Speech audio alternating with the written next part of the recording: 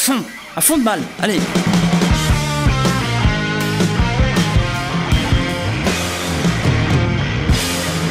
Yo salut à tous, c'est Seb pour Carrette. Oui, c'est Seb, c'est moi. Ah, que Dieu me bénisse. Je pense qu'on a fait un truc, c'est que vous allez me voir une fois tous les six mois sur, euh, sur, le, sur les vidéos et je, ça sera très bien. Hein, à mon avis, hein, c'est ça qu'on a fait à peu près. Le contrat est stipulé dedans une fois tous les six mois. Bon, bref, voilà. Mais de toute façon, les conditions de travail ne sont pas bonnes, monsieur. Hein, je vous l'ai déjà dit. Là, on est quoi On est sur un coin de table, là, c'est n'importe quoi. moi, je vais faire grève. je vous dis, je vais porter plainte, je vais faire grève. Aujourd'hui, une vidéo un peu particulière puisque c'est bientôt le mondial de l'automobile de Paris. Et le problème, c'est qu'on va y aller. Oui, c'est un problème. C'est vraiment un problème. Ah, en fait, si on y va, il risque d'y avoir une explosion thermonucléaire, surtout qu'il y a Villebrequin qui y va. Ça risque de, hein, de pousser les murs, on va dire, ça va. Et j'ai eu la merveilleuse idée avec euh, Rémi également de faire une vidéo pré-mondiale euh, sur, euh, sur le salon. Petite mise en contexte pour ce mondial de l'automobile. Évidemment, ça va se passer au parc des expositions de la Porte de Versailles à Paris du 17 au 23 octobre 2022. Le 17 octobre étant une journée presse, c'est réservé aux journalistes. Pour le grand public, c'est du mardi 18 octobre 2022 jusqu'au dimanche 23 octobre 2022. Et ça se passera uniquement dans les pavillons 3, 4 et 6. Et le numéro complémentaire, le 9. Vous venez de gagner un million de dollars, c'est magnifique. Non, 3, 4 et 6 pour les pavillons. Alors dans cette vidéo, on va juste euh, résumer très rapidement les quelques gros constructeurs qui seront présents et on va aussi surtout mentionner les absents. Oui, parce que cette année, il y aura énormément d'absents et de très gros absents. C'est une des particularités de cette édition 2022. On se demande si euh, bah, ces espèces de gros salons de l'automobile vont perdurer dans le temps parce que bah, il y a tellement d'absents que euh, ah, bah, un jour on va plus y arriver. Alors évidemment salon français oblige, il y aura énormément de constructeurs français qui seront là quand même. On aura une partie du groupe Stellantis qui sera présent, notamment avec euh, Peugeot qui va présenter pas moins de 3 premières mondiales, 3 ou 4 je sais plus, je crois que c'est 3 ou 4, un truc comme ça. Évidemment, il y aura la nouvelle Peugeot 408 et il y aura aussi d'autres euh, modèles de Peugeot qui seront présents sur le salon. On aura DS Automobile qui sera présent avec euh, le DS7 euh, restylé et une évolution du DS3 Crossback qui sera présenté sur le salon. Et bah, pour le groupe Stellantis, c'est tout. C'est tout. Ils, ils sont que deux à y aller dans le groupe Stellantis. Peugeot, DS Automobile. Bah, le groupe Renault sera également de la partie, évidemment avec la marque Renault qui va venir présenter son prototype de 4L électrique. Il y aura également un truc autour de la Renault 5 en version électrifiée aussi, si je dis bien. C'est peut-être les deux mêmes concepts, hein, j'en sais rien. C'est pas précisé en tout cas, donc euh, on verra bien. Dacia sera également présent et moi je suis très hypé par Dacia parce que ça promet d'avoir un très gros stand. Ils vont notamment présenter la nouvelle Dacia Jogger hybride 140 chevaux. Oui, monsieur, 140 chevaux dans une Dacia, ça commence à discuter. On ira le voir, ça m'intéresse beaucoup, on ira le voir. Le jogger hybride, il sera présent sur le salon. Alors, euh, je crois que les commandes sont ouvertes en 2023, il me semble. Hein. Je crois que c'est euh, premier semestre 2023 ils se donnent une grosse fourchette, les gars, ils prennent pas de risques. Hein. Mais euh, le nouveau jogger hybride, moi, il m'intéresse. Euh, donc on va aller le voir. Petit coucou à un, certain copain Sergei qui vient de s'acheter un jogger thermique. voilà, ben, il y a une version hybride qui va sortir. Ce sera aussi le tout premier modèle hybride de la marque Dacia. D'ailleurs, c'est assez rigolo qu'ils fassent un modèle hybride sur une grosse voiture. J'aurais, vu plutôt ça dans une Sandero. je me suis dit, tiens, ils vont faire ça dans un Sandero. Non, ils font ça avec le jogger. C'est assez marrant. Donc là, Dacia, la hype, hein. la hype à fond. Euh, on aura également d'autres marques du groupe Renault qui seront euh, présentes, notamment Alpine. J'étais en train de lire sur mon papier, hein. il n'y a pas de secret, j'ai fait un papier. Euh, Alpine qui va présenter la nouvelle gamme d'Alpine A110 et il y aura aussi une voiture que j'aime beaucoup, c'est la Alpine A110 Éternité. Alors avec le E-Ternité, c'est une version électrique de la Alpine A110. Voilà, ça pareil, à tout prix, faut aller voir. C'est, franchement, ça va être joli. Alors, il y aura aussi des, peintures qui seront exclusives à la version euh, éternité, des, jantes spéciales, etc., etc. Alpine électrique, il faut aller voir, c'est obligé. Et chez Renault, c'est toujours pas fini. Hein. Renault, il y a pas mal de trucs. On revient euh, chez Renault, j'avais oublié de le dire juste avant. On aura aussi le, concept Renault Scénic Vision. Euh, qui sera présent sur le salon, le nouveau Renault Austral qui sera également présent sur le salon et bah, la Mégane E-Tech. Alors la Mégane E-Tech, oui, mais je pense que c'est pour en vendre euh, un paquet. Donc euh, voilà, je, pense que l'occasion était bonne. Meganitech, Voilà, pourquoi pas. Donc là, pour le coup, Renault ne vient pas les mains dans les poches. Hein. Euh, là, ils ont, ils ont de quoi faire. Hein. C'est pas comme chez Stellantis. Et au niveau des Français, c'est tout. Oui, oui, c'est tout. Il y a Renault, il y a Dacia, il y a Alpine, il y a Peugeot, il y a DS, et c'est tout. Les marques comme du groupe Stellantis, par exemple, Fiat, par exemple, il y a qui là dans le groupe Stellantis maintenant Jeep. Ah bah oui, Jeep, voilà. Alors Jeep, on sait pas trop. moi, j'ai un doute sur Jeep. Je crois que j'avais entrevu qu'ils allaient quand même venir.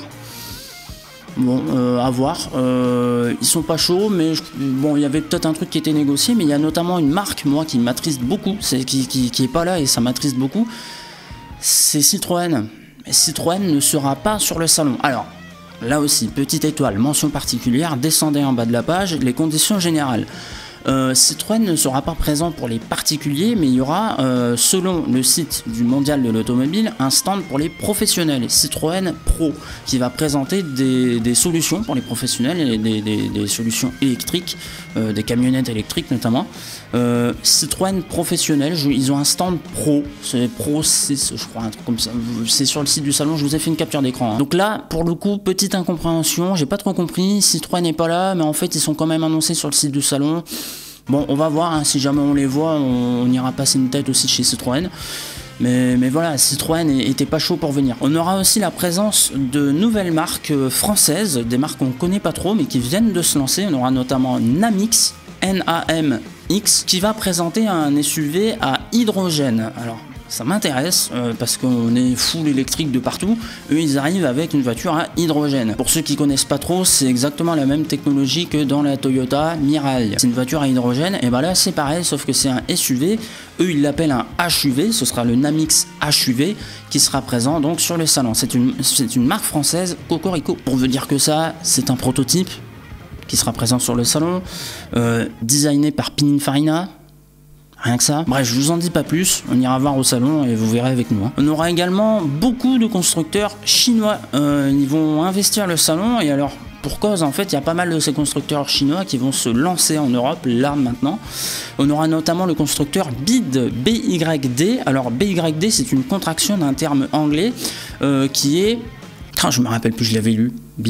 Euh, be you, be, be proud of you because you can be do what we want to do. Vivez vos rêves, un truc comme ça.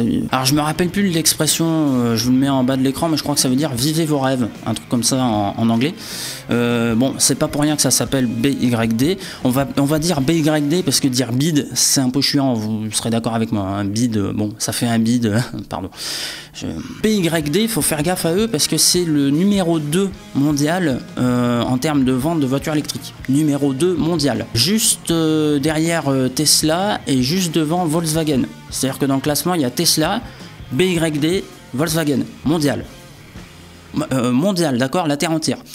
Voilà, donc eux, faut pas se foutre de leur gueule, hein, à mon avis. Euh, ils vont profiter du salon pour annoncer leur euh, lancement en grande pompe dans toute l'Europe. Et je pense qu'ils vont aussi présenter une de leurs voitures qui sera la BYD Tang, qui est déjà en vente en Norvège et qui va arriver donc sur le vieux continent là. Et évidemment, cette voiture, c'est un SUV, j'en ai marre des SUV. Franchement, j'ai l'impression qu'il y aura que des SUV au salon.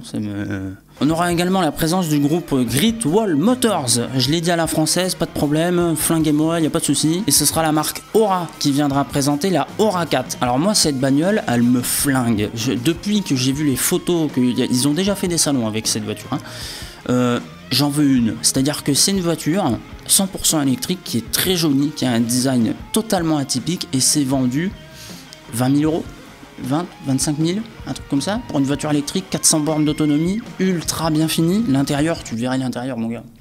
C'est presque du luxe. Hein. Pareil, s'ils sont sur le salon, bah, on ira voir. En fait, on ira tous les voir. Hein. Euh, bon, là, je me dis juste les marques de, la vidéo. Hein. Je me fais pas chier. On aura également la Suisse qui sera euh, présente avec euh, Micro Mobility Systems et la marque Microlino. Alors, eux, ils veulent relancer un en électrique. Pour ceux qui ne connaissent pas, la Isetta, c'est une espèce de toute petite voiture monoplace, même deux places à peine. Je crois à l'intérieur il y a juste une banquette et je crois qu'on peut se mettre tout seul ou à deux à peine. Et il y a une porte qui s'ouvre par le devant. Il y a le pare-brise avec le et ça s'ouvre par le devant. Voilà. Ils vont venir avec ça au, mondial de l'automobile. Alors c'est un concept 100% électrifié et j'ai vu le tarif, je crois que c'est 12 000 balles. ils veulent relancer euh, l'Isetta, mais en version électrique. Cherchez sur Google hein, si vous connaissez pas la Isetta. Donc voilà, il y aura quand même euh, quelques petites choses à voir, euh, des constructeurs étrangers qui vont nous présenter des nouveautés fort intéressantes. Et évidemment, le salon est pas mal tourné sur l'écomobilité. Alors je vous parlais des absents tout à l'heure, en aura des, super gros et je comprends même pas pourquoi ils viennent pas. Il y a une marque en particulier, je comprends pas pourquoi ils sont pas là, c'est Mercedes. Ils sont pas là. Mercedes, Merco. Tu comprends quand je te parle Merco, il est pas là. Ah, ils savent nous mettre des millions de milliards en recherche et développement pour, le, pour leur bagnole. Ils font pas le salon de l'auto. À Paris. Ils, le font pas. Ils le font pas. Ils aiment pas la France, j'en sais rien, je sais pas. Euh, on leur a fait un coup de pute derrière, j'en sais rien. Ils sont pas là. Ils ne sont pas là. Mercodes, il y en a pas. Opel, Opel ne sera pas là. Pas de Corsa, pas de euh, rien pas d'Astra, pas de. N'y a, pas, y a pas. Opel, n'y a pas. Alors, petite mention particulière pour Volvo euh, qui ne viendra pas. En fait, ils ont hésité. c'est con ce que je suis en train de vous faire, mais ils ont hésité à venir. Au début, ils ont dit peut-être qu'on va venir, on va essayer, on va négocier. J'appelle Gigi, on s'arrange. Coup de fil le lendemain, Volvo ne sera pas là. Ah ouais, dommage. Volkswagen. C'est pas là. VV, n'est pas là. Volkswagen n'est pas là. Bon bref, je vous, vous cite que ces constructeurs-là, hein, mais il y a une liste entière de constructeurs qui seront absents et des putains de gros constructeurs, ils y vont pas. Je comprends pas pourquoi ils y vont pas. Mais bon, on verra bien, ça se trouve, on sera super content d'y de, aller, de voir les constructeurs qui sont là, les Chinois notamment, ils vont nous présenter des trucs super intéressants. Et voilà, c'est la fin de cette vidéo, merci de l'avoir suivi. Si elle vous a plu, n'hésitez pas à laisser un petit pouce bleu, là en dessous, là, vous mettez un petit pouce bleu. Ça permet à l'algorithme de YouTube de comprendre que cette vidéo est bien et de la mettre un peu plus en avant. Faites ça s'il vous plaît, ça prend deux secondes, merci beaucoup. N'oubliez pas de nous rejoindre sur les réseaux sociaux de la chaîne, euh, tout est dans la description j'imagine, et ça s'affiche là en bas avec un petit montage digne de la NASA et des Amériques, des États-Unis. Voilà, donc les réseaux sociaux, ça c'est parti. On fait un live au salon d'auto? Enfin, tu voulais faire un live euh? On va vous faire un live euh, en direct du salon. Ouais, on va se balader dans les allées du salon. J'espère qu'il y aura du réseau, j'espère que ça va aller. Euh, prions les pauvres prêcheurs. Hein, voilà, prions tout simplement. on sera en live le dimanche 23 octobre 2022 en direct du salon. Alors, je sais pas vers quelle heure. On vous redira sur les réseaux sociaux. Encore une fois, suivez-nous sur les réseaux sociaux, c'est très important. Mais on sera en live le dimanche 23 octobre 2022 en direct du Salon de l'Automobile de Paris 2022 à la porte de Versailles. Notez ça dans votre agenda, dimanche 23, le live au Salon d'Automobile. À quelle heure, j'en sais rien, mais on vous tient au courant sur les réseaux sociaux. Les réseaux sociaux, encore une fois, les réseaux sociaux. Allez voir s'il vous plaît. Hein. C'était Seb, oui, c'était Seb, c'était moi. Ah, que Dieu bénisse. Je vous souhaite de passer euh, une bonne journée. On se retrouve la semaine prochaine en direct du Salon d'Auto. Ciao, Bassimir. C'est extraordinaire. Euh, je vais le faire, j'en ai rien à foutre. C'est extraordinaire. Ah, ça, ça dure, c'est bon. Hein